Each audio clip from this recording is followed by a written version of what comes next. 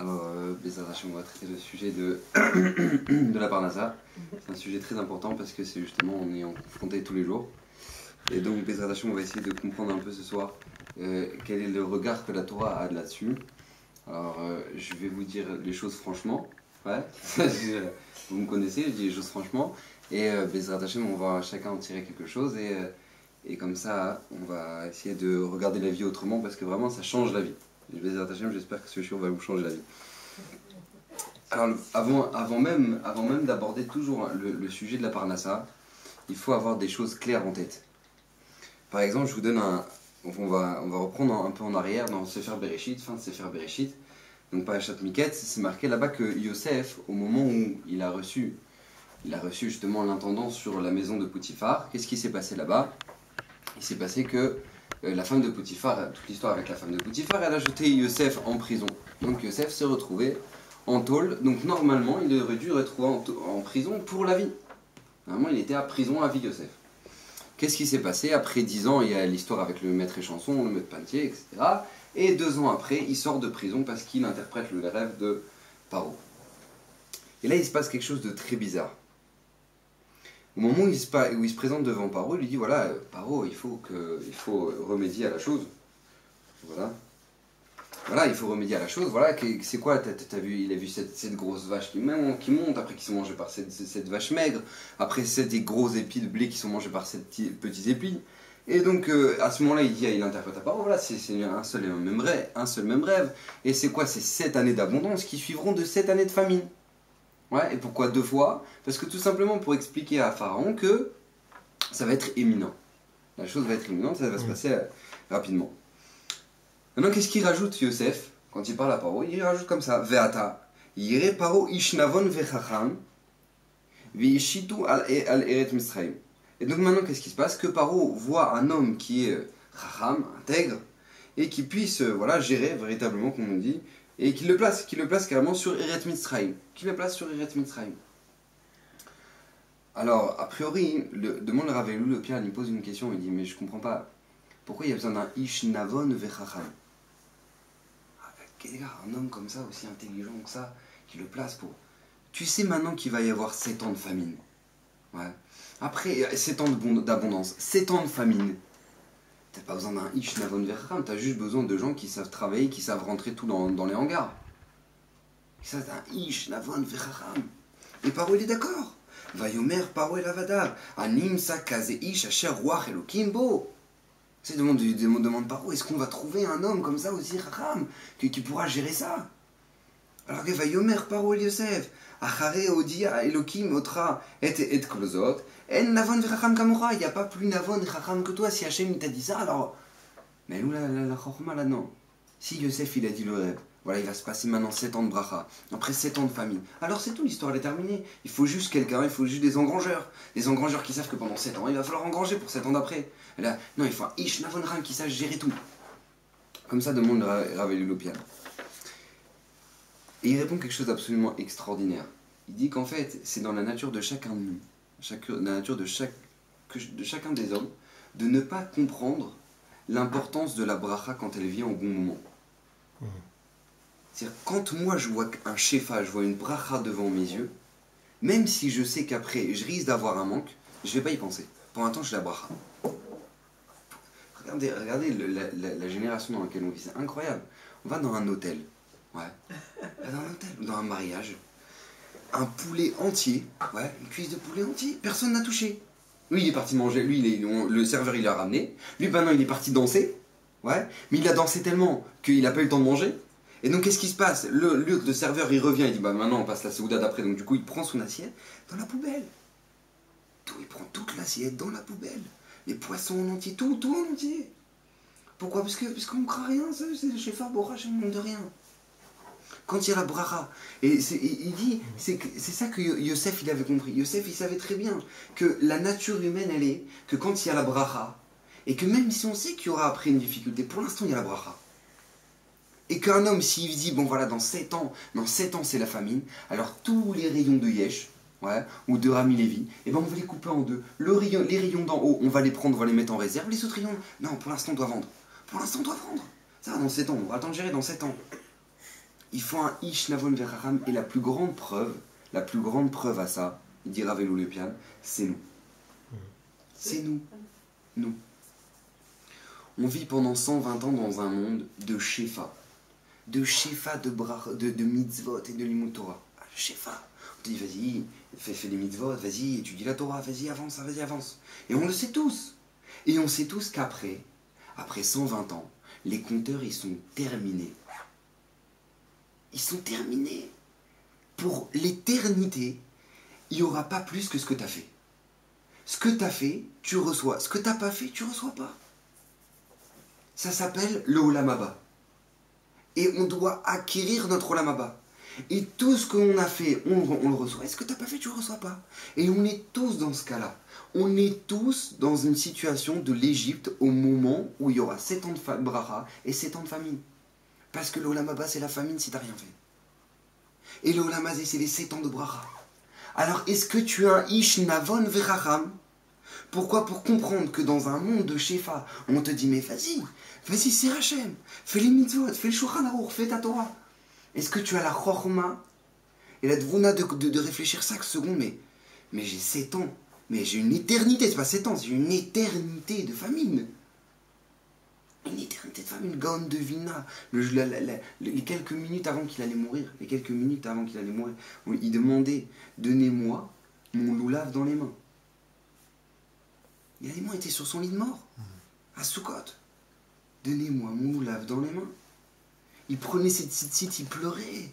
Il pleurait. C'était me dit pourquoi? Ah, le Gaon de Vina, pourquoi vous pleurez? Il dit Je compte un monde, je quitte un monde où avec 15 shekels, on fait 613 mitzvot par seconde. Là-haut, les compteurs, ils sont terminés. Ça, c'est la grandeur d'un Ishnavon Vechacham. Et ça, Yosef, il savait, et Paro aussi, il avait très bien compris ça. Il avait très bien compris que si on ne travaille pas maintenant, alors après, c'est trop tard. Après, c'est trop tard.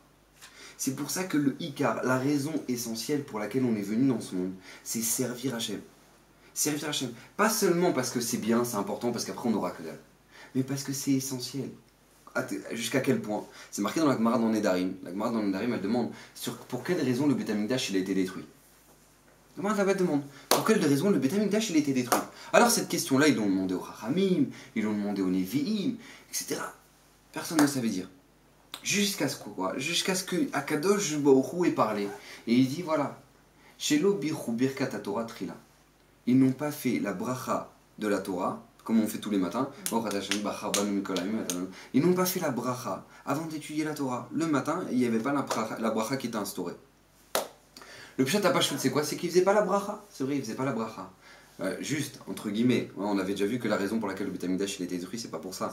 Ouais, c'est pourquoi? C'est parce qu'il il y a eu les meurtres, il y a eu les Gilou Yarayot, Avodazara. Ouais, mais, mais il explique le natif que toutes ces trois avérotes qui ont engrangé la, la, la, destruction du Betamikdash, c'était quoi la, la graine de la base La graine de la base qui a entraîné le Ham Israël à arriver à ces avérotes-là, c'était le fait qu'ils n'ont pas fait la bracha. Alors, a priori, c'est difficile à comprendre. que ça veut dire Parce qu'ils n'ont pas fait une bracha le matin. N'ont pas fait une bracha le matin. Alors, du coup, voilà, c'est tout, le monde va mourir, de Betamikdash, tu Vient le Khatam Sofer et donne une explication absolument extraordinaire. Le Khatam Sofer, il vient il dit tout simplement. Il dit parce que ils n'avaient pas mis dans leur vie la Torah avant tout. Chez l'Obichou, Birkat Torah, Trila. C'est-à-dire que quand il y avait deux mamans qui se rencontraient à l'époque du Beth Amikdash, elle disait Qu'est-ce qu'il fait ton fils? Elle fait Ah, mon fils, il est avocat. Ouais. Elle dit qu'il fait? Ah, mon Dieu, mon fils, il est médecin. Ah, c'est incroyable, c'est bien, il a fait ses études et machin, un truc. Chez Trila. Mais qu'est-ce qu'on s'en fout du travail de ton fils? Mais nous, on veut savoir où est-ce qu'il en est. Quelle macérette il a fini, ton fils? Il est rabbin? Il a avancé? Ah, mais tu sais, les médecins. Mais d'accord, ok, je te parle pas de combien. Qu'est-ce qu'il fait? Il a avancé dans sa vie. Ah, parce que la Torah avait perdu son sens essentiel. Alors le Betamikdash, il était détruit. Comme ça explique le Khatam Sofer. L'importance de la Torah dans la vie de chacun avait été perdue une histoire très sympathique avec le Rav de Brisk. Une fois, le Rav de Brisk, il a vu un ancien talmide à lui, un ancien élève à lui. Il a revu, il a dit, mais il dit, ah, qu'est-ce que tu fais dans ta vie? Qu'est-ce que tu fais? Ah, il dit, ah, bah, voilà, je vais faire un petit commerce et tout. Ah, d'accord. Après, deux secondes, minutes après, il va voir le Rav, il dit, qu'est-ce que tu fais dans ta vie? Qu'est-ce que tu fais? Il fait, ah, voilà. Alors, moi, Moi, qu'est-ce que je fais bah, J'ai ouvert un petit commerce, je vous, je vous l'ai dit. Ouais, un petit commerce. Il dit Mais. Ah, d'accord. Alors, cinq minutes après, alors qu'est-ce que tu fais dans ta vie? Mais ah, je vous ai, je vous ai déjà dit. Je dis Mais t'as pas compris ma question. Je te demande Qu'est-ce que tu fais dans ta vie? Je te pas demandé ce que tu manges. Ça m'intéresse pas ce que tu manges. Grâce à quoi tu manges? Qu'est-ce qu'on a à faire maintenant? Je me dis Qu'est-ce que tu fais dans ta vie? Quelle macérette et qu'est-ce que tu y es où t'es dans le Shukranaro Donne-moi un rideau, dis-moi quelque chose. Ça, c'est de quoi tu vis. Ça, c'est de quoi tu vis. C'est comme ça qu'un juif, il doit réfléchir. Atkedikar, je vais même vous aller plus loin. Je vais même aller plus loin. C'est marqué dans la Gemara. Il y a une marque loquette dans la Gemara si on a le droit de travailler. Vous savez ça Il y a une marque loquette. Rabbi Ishmael, Rabbi Shimon. Si un juif a le droit de travailler. Et pour ça, écoutez bien, c'est de la folie. Pour ça, il faut prouver dans les psukim de la Torah qu'il y, a une autorisation de travailler. Je vous ramène une fois, je marque comme ça. Tanoura Banan, nos Chachamim ont enseigné. Va safta deganecha, c'est marqué dans le schéma Israël. Va safta deganecha, tu rassembleras dans, tes, tu rassembleras ton, grain. Matalmud lomar, à quoi ça sert À quoi ça nous demande la Gemara C'est une Mara dans, dans je crois, dans Brachot. Alors elle demande, elle demande la Gemara, Matalmud lomar, à quoi qu'est-ce que ça vient nous apprendre que ouais, super, tu engendras ton, grain Elle dit, les fiches, et Nehemar, Loïmouch, Sefer Torah, Zemi Picha puisqu'il est marqué dans la Torah que quoi Que jamais la Torah doit quitter ta bouche. Alors qu'est-ce qui se passe? Yachol Dvarim Kektavan. J'aurais pu croire que maintenant, qu'est-ce qui se passe? Je dois étudier la Torah tout le temps. Ouais, jamais m'arrêter. Talmud Mar Ganecha. C'est pour ça que la Torah elle vient te dire non. Tu as le droit de travailler. Savta Ganecha. Innaek Bain Minak Derecheretz. Divrei Rabbi Ishmael. Ça, c'est la parole de Rabbi Ishmael. Écoutez bien Rabbi Shimon Bar Yochai. Rabbi Shimon Bar Yochai, sur lesquels les milliers de gens ouais, vont sur sa tombe tous les ans. Ouais. Et, ils, je ne sais pas s'ils savent ce que lui pensait les gens qui travaillent. Alors attention. Rabbi Shimon Bar Yochai, Omer, Efshar Adam Choresh Beshat Harisha. Vezorea Beshat Zria. Vekotzer Beshat Ktira. Vedash Beshat Disha. Vezora Beshat Beshat Orea. Torah Maté Alia. Il demande Rabbi Shimon, il dit Alors qu'est-ce qui se passe? Alors d'accord, très bien, alors on va faire le compte. Un paysan maintenant, qu'est-ce qui se passe? Il doit, il, doit, il doit labourer son champ. Alors il va labourer son champ. Et après, après, quand il arrive le moment où il doit semer, alors il va aller semer. Et puis quand il arrive le moment où maintenant il faut, il faut couper, alors il va aller couper. Et quand il faut engranger, alors il va engranger. Et dis-moi, et la Torah alors? Les personnes qui étudient? Torah maté aléa il dit qu'est-ce qu'il va devenir de la Torah? Si chacun, chacun son business au bon moment. Ah mais non tu comprends pas j'ai un business hein. j'ai un rendez-vous à cette heure-là moi je peux pas l'étudier je dois rater mon chiot parce que j'ai un rendez-vous. Et après après tu comprends pas que, si jamais je fais pas ça alors je vais rater un truc. Alors alors c'est ma Torah ma Alia il demande Rabbi Shimon qu'est-ce qui va se passer avec la Torah? Et là Bezman chez Israël au Simrit le Makom quand les Israël font la volonté d'Hachem mais l'artan Asimali lui il se casse pas la tête ouais. quand les Israël font la volonté d'Hachem leur travail sera fait par d'autres. Qui c'est Qu'est-ce qui se passe? Pas ton problème Ton travail sera fait par d'autres. Comme c'est dit Rabbi Shimon Bar Yochai. Donc dit l'Agmara, l'Agmara elle n'est pas posée qu'elle elle tranche pas. L'Agmara elle dit Arbe Asou. Ah, il y en a beaucoup qui ont voulu faire comme Rabbi Shimon. Vélo Altabiyan. Vélo Altabiyan. Voilà, c'est marqué. Arbe Asou qui Rabbi Shimon Valtabiyan. Il y en a qui Rabbi Shmuel et Valtabiyan. Il y en a beaucoup qui ont fait comme Rabbi Shmuel ils ont réussi. Rabbi Shimon Bar Yochai, Vélo Altabiyan. Au niveau de Rabbi Shimon Bar Yochai, ils n'ont pas réussi. Qu'est-ce que ça veut dire? Ça veut dire que avant même d'aborder le problème, le sujet de la parnassa qu'on va traiter Bezrat ce soir, il faut avoir ça clairement en tête. Ce que la Torah pense du travail. C'est vrai, il faut travailler. On doit travailler, c'est vrai. Mais quelle est la principale de ta vie? Où tu as mis le principal de ta vie? Est-ce que c'est dans ton travail ou est-ce que c'est dans l'étude de ta Torah? Et le, fait de faire, faire tes mitzvot. J'ai marqué, une fois, aujourd'hui, je l'étudie avec mon balapéter anana, c'est marqué la Gemara Brachot, Dafyudzain, Isha, Bemaïzach, les, femmes, par quel mérite elles ont, elles ont leur Olamaba Demande la Gemara, par quel mérite elles ont leur Olamaba Réponse de la Gemara, parce qu'elles emmènent leurs petits-enfants au Cheder. Et parce qu'elles poussent leur mari à étudier. Et parce qu'elles attendent leur mari qui revient tard le soir. Parce qu'il leur permet d'étudier dans les villes, dans les autres villes. Ça, c'est le, le srout qu'une femme elle aura dans son lamaba. C'est-à-dire que c'est le quart de notre vie. C'est le quart de notre souci doit être là-dedans. Maintenant qu'on a compris clairement la place que la Torah doit avoir dans la vie de chacun, donc, Bezrat on peut commencer à, à traiter les questions qu'il faut se poser au moment de la sur la parnassa. la première question, elle est comme ça. Tout simplement, puisque c'est marqué que quoi que maintenant, le Icar de la Parnassa, c'est pourquoi? C'est pour avoir une tranquillité dans nos têtes, pour pouvoir étudier la Torah, parce que c'est ça le principal. Donc étant donné que maintenant, c'est vrai, c'est ça le principal, et que on doit travailler pour ça. Donc si jamais maintenant on doit travailler pour ça, alors une question simple, une question toute simple. Alors quelle est la part que chacun de nous il a? Ouais, quelle est la part de chacun de nous dans, notre, dans notre travail? Parce que c'est vrai que maintenant, nous, Akadosh Boko, il nous a demandé d'étudier sa Torah. Il nous a demandé de voir l'essentiel, c'est quoi? C'est de faire sa volonté, et c'est de servir, et c'est de... C'est vrai, c'est l'essentiel. Mais la première question, c'est quoi? C'est...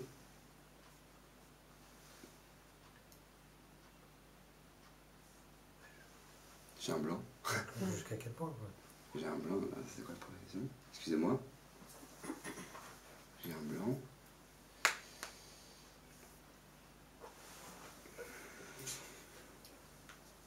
Bon, ça va me revenir. Alors, en tout cas, on va traiter la, la deuxième question, elle est comme ça. La preuve, je vais dire la deuxième question parce que ça va me revenir. La deuxième question, elle est comme ça. C'est que si jamais maintenant, tout est marqué à Rosh Hashanah.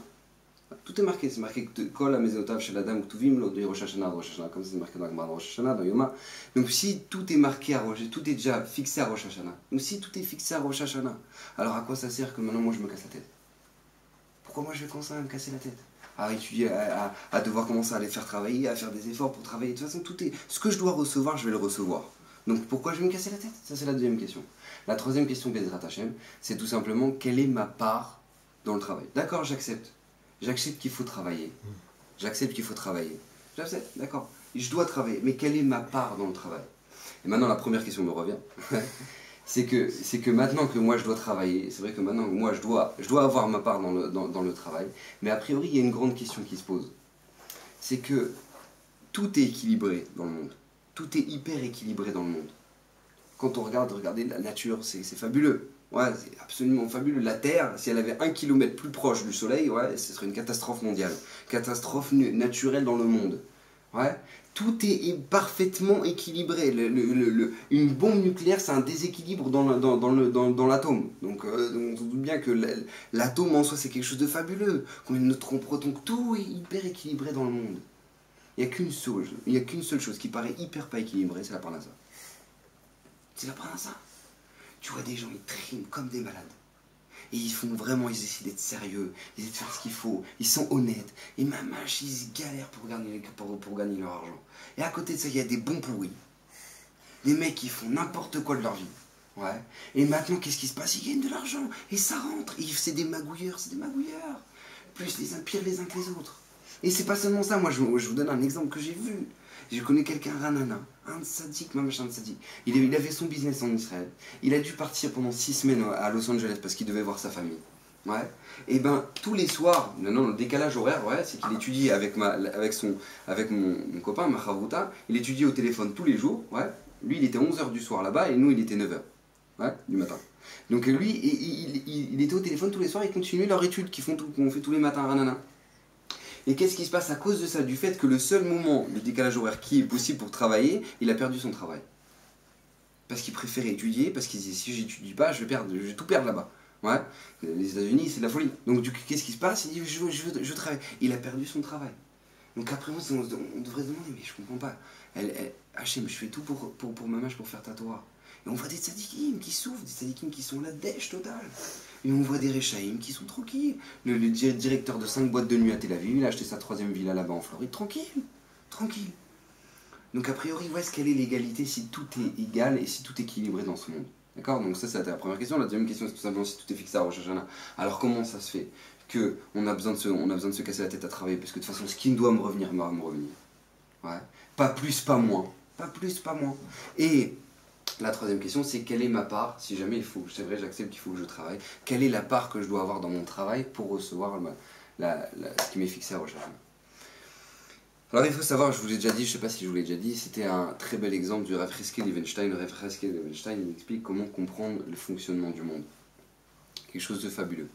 vous savez qu'il y a quelque chose de très spécial, quelque chose de très, très original. C'est que si vous allez à Yesh, et que vous allez au rayon d'été, Ouais. Vous pouvez vous créer une petite boîte de thé, au maximum 15 shekels, où vous avez, euh, je sais pas moi, 200 sachets de thé dedans. Ouais. Vous, allez rentrer chez vous, vous vous faites chauffer de l'eau.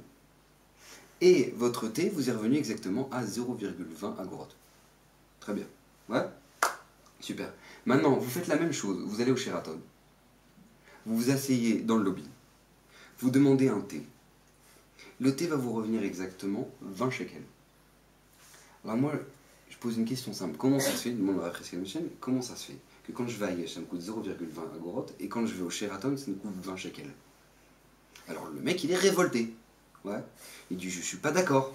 Qu'est-ce qui se passe? Comment ça se fait que je paye 20 shekels? Ouais. Donc il appelle, il appelle le secrétaire. Il dit, je suis désolé, j'ai pris un thé, j'ai pas pris 3 coca. Ouais, 20 shekels, 3 coca. J'ai pris un thé, vous me ramenez une Kabbalah avec 20 shekels. Ça n'existe pas un truc pareil. Je suis pas d'accord, je payerai jamais un truc. Monsieur, vous êtes au Sheraton. Il dit non mais non moi je veux parler, je veux parler avec la direction. Pas de problème et tout, mais vous connaissez, ouais, il retourne, il retourne le lobby, d'accord, monsieur, calmez-vous, pas de problème, on va, appeler le directeur, machin, un truc, il va parler. Il fait venez, quitter le lobby, vous inquiétez pas, on va venir vous parler. Et qu'est-ce qui se passe? Il arrive dans le bureau du directeur et il s'assoit, il dit voilà, je viens me plaindre. Il dit oui monsieur, qu'est-ce qui se passe? Il dit voilà, bah, je, je commandé un thé dans le lobby, ça m'est revenu 20 shekels ce n'est pas normal. Je vais à Yesh, ça me revient 0,20 agorot. Là, je paye 20 shekels pour un thé. Il n'avait rien de spécial en plus ce thé. Comment ça se. Qu'est-ce qui se passe? Il dit, monsieur, je vais vous expliquer tout simplement. Vous n'avez pas remarqué que quand vous étiez assis dans le canapé, en train de boire votre thé, il y avait une petite musique derrière? Vous n'avez pas remarqué ça? Petite musique comme ça, derrière Ouais? Alors vous n'êtes pas retourné, mais si vous regardez là-bas, il y a un piano à queue qui nous a coûté 100 000 shekels, ouais, avec un joueur d'accord Ce qui est un pianiste qui est en train de faire du piano et qui nous coûte exactement 40 shekels l'heure. D'accord? Très bien. Maintenant, le canapé sur lequel. Je suis gentil. Et le canapé sur lequel maintenant vous étiez assis, oui, c'est les derniers canapés qu'on vient de commander avec du cuir d'Italie. Et euh, il est très spécial. Il nous a coûté exactement 3000 shekels le siège. Ouais. Et vous étiez assis sur le canapé qui nous a coûté 5000 shekels. D'accord? Donc, il, faut, il faut que vous compreniez un principe simple, monsieur que quand vous buvez un thé au Sheraton, vous ne payez pas votre thé. Vous payez l'électricité, la musique, votre siège, tout. L'ambiance, le service. vous payez tout. À Freskel c'est exactement pareil dans le monde. Hachem nous a ramenés dans un monde. C'est un hôtel géant. C'est un hôtel géant. C'est un hôtel géant. On n'a jamais vu qu'un hôtel c'est gratuit. Mais là, c'est pas un hôtel de 5 étoiles. C'est un hôtel un milliard d'étoiles. Vous pouvez sortir maintenant. Un milliard d'étoiles. Un milliard d'étoiles. Ça s'appelle le monde. Ça s'appelle le monde. Comment on peut croire 5 minutes que c'est gratos? Ça n'existe pas, c'est pas gratuit ce monde. Il n'y a qu'une seule, il n'y a, que, a que certaines personnes à qui c'est gratuit, de même dormir et d'habiter dans l'hôtel. Qui c'est? Ceux qui travaillent pour l'hôtel. Ceux qui travaillent pour l'hôtel, peuvent boire un coca tranquille, peuvent manger tranquille. Moi, je vois les magiques dans les hôtels, ils mangent tranquille. ils se servent des, des, assiettes de folie et tout. Ils mangent gratos, ils sont payés pour manger, en plus, c'est sympathique. Et donc, c'est incroyable. Ceux qui travaillent dans l'hôtel, ils ont gratos. Il dit Einstein, c'est exactement pareil. Ceux qui sont venus dans ce monde et qui justifient ce monde, c'est-à-dire servir la volonté d'Akadosh Bourou, parce qu'il y a un Dieu. Alors, ceux qui sont capables de faire ça, alors pour eux, l'hôtel, il est gratuit. Ça s'appelle les Israël, qui font la volonté d'Hachem, bien sûr. Ça s'appelle ceux qui font la volonté d'Hachem. Ceux qui font la volonté d'Hachem, Hachem, le monde, il a été créé pour eux. Tout le reste, ils payent content. Ils payent très cher. Ils payent très très cher. Alors maintenant, à Rosh Hashanah, il y a un, jugement. Tous les Kol on dit dans la Tfila, on dit dans c'est marqué dans Hashanah, que tout le monde entier passe à Rosh Hashanah devant un Kadosh Borou. Tout le monde passe devant un Kadosh Borou à Rosh Hashanah. Et un Kadosh Borou juge chacun de nous. Et il regarde. Il ouvre les dossiers. Il dit alors voilà, lui, est-ce qu'il a justifié mon monde? Alors il regarde, très bien. Alors lui, on lui a donné une parnassa de 20 000 shekels, très bien. Combien il a donné son maaser? Masser, il connaît même pas. D'accord, super. Masser, il connaît même pas. Et, euh, et qu'est-ce qui se passe avec son argent? Qu'est-ce qu'il fait avec son argent Il mange caché Ah d'accord, il va au McDo, super, très bien. Alors maintenant, qu'est-ce qui se passe? Alors qu'est-ce qu'il fait de son temps libre? Ouais, on lui a donné la santé. Alors viens, on ouvre dossier santé. On ouvre le dossier santé, très bien. Lui, il est en forme, super, en forme. Et qu'est-ce qu'il fait avec ses forces? Les vacances à Ibiza. Très bien, super. Il danse toute la nuit, très, super, très très bien. Alors très bien. Lui, est-ce qu'il me remercie quand il mange? Quand il mange, il me remercie au moins? D'accord, très bien. Alors bon, alors lui, l'année prochaine, fixé pour lui, normalement, il mangera par intraveineuse à, à le prochain hôpital qui est proche de chez lui. Ça, c'est ce qui est fixé à Rosh Hashanah. T'as pas compris pourquoi tu es venu dans ce monde. Tu t'as rien compris à la vie. Ouais. L'argent, tu sais même pas pourquoi il vient. Tu comprends que dalle. Alors d'accord, tu comprends rien, tu sais pas dire merci. Alors tu sais quoi, tu vas manger par intraveineuse, t'auras pas besoin de faire bracha. C'est comme ça, Minadine. Minadine, c'est comme ça. T'ouvres le dossier d'un sadique. Ouais. Mais combien il a fait 2000 shekels, il reçoit par mois. On va lui donner un milliard. Un milliard pour lui. Un milliard pour lui. Mais quoi, son maaser? Il donne pas seulement le il donne le, le. Il dit quoi, le ramèche de son truc? Attends, moi j'ai dit, mais attends, on va, on va tout lui donner. Sa santé quoi? Il donne tous ses efforts dans la Torah. On va lui donner une santé de fer. Etc. etc. C'est comme ça. Minadine, c'est comme ça que ça se passe le jour de Rosh Hashanah. Mais à Rosh Hashanah, il y a un deuxième mishpat. Et c'est là-dessus qu'on peut comprendre mamash toute la vie et tout ce qui se passe autour de nous, c'est absolument fabuleux. Le deuxième mishpat, il est comme ça.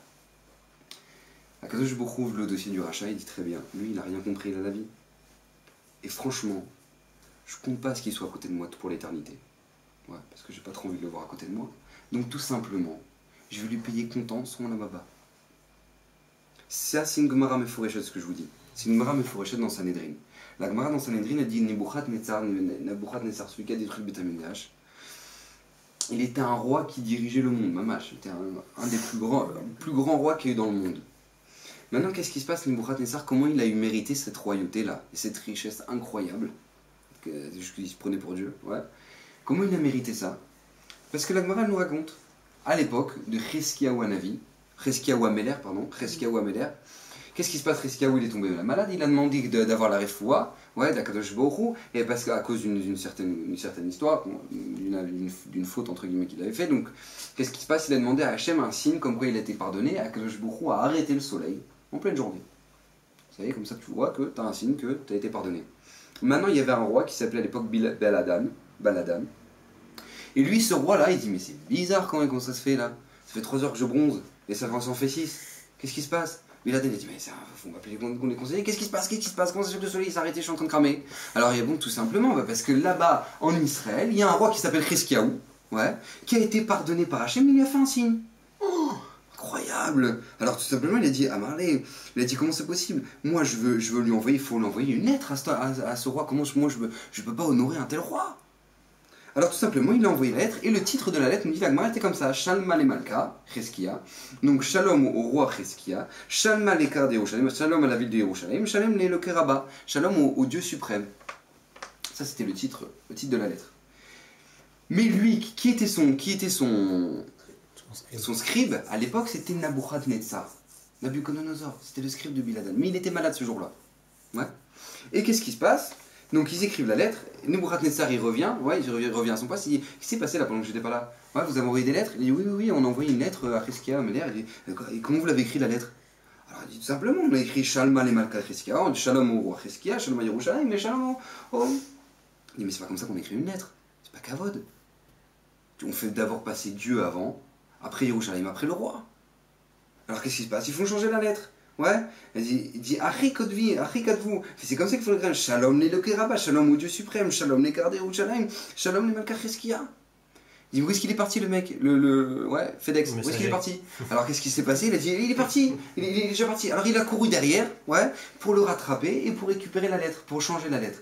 Sur le fait qu'il a fait deux pas pour récupérer maintenant la lettre ouais Akadosh Baruch il va lui payer content tout son lamaba. Il va devenir le roi le plus puissant.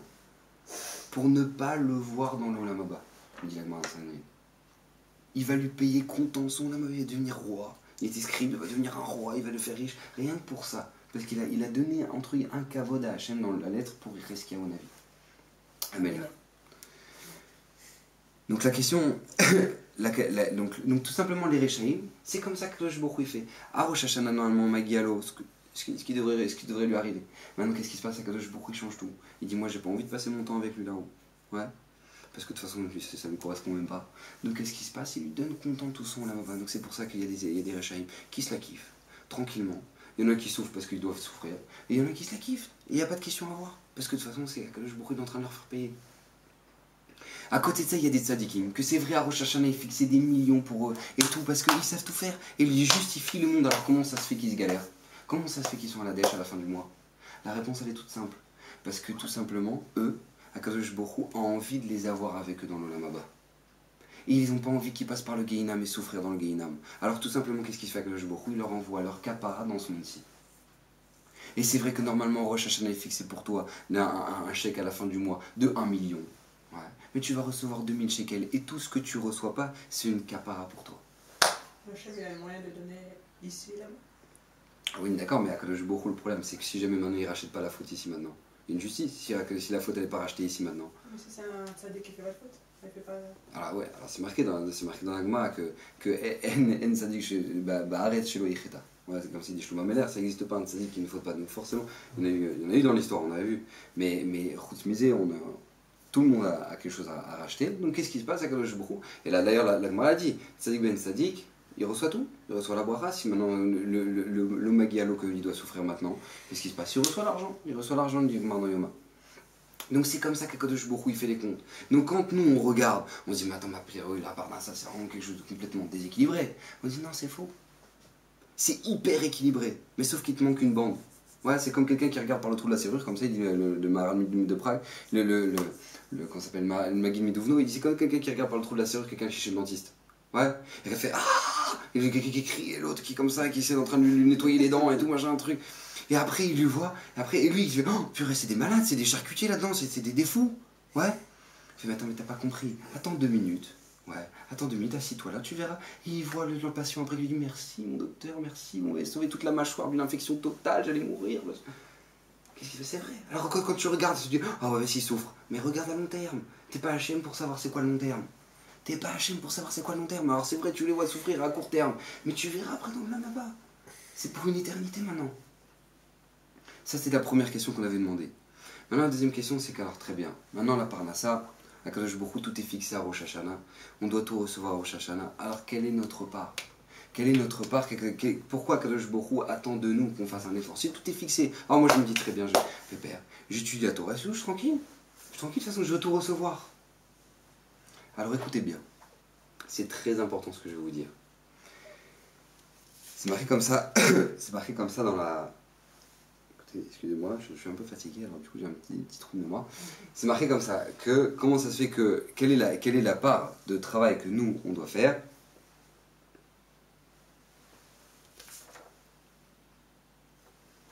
Excusez-moi, faut que je me concentre. Euh,